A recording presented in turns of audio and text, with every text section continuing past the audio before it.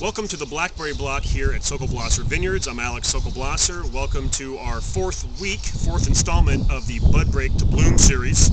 Um, we've got grapes this week, folks. Follow me. So on this stalk, we've got, you know, these are two clusters that are forming on the shoots.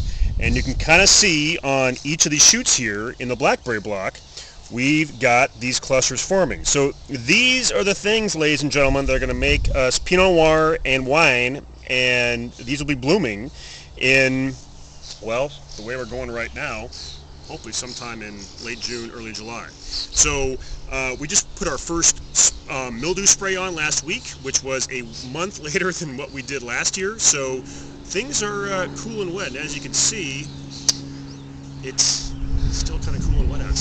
So join me next week. Hopefully we'll have more growth. And this week we got grapes.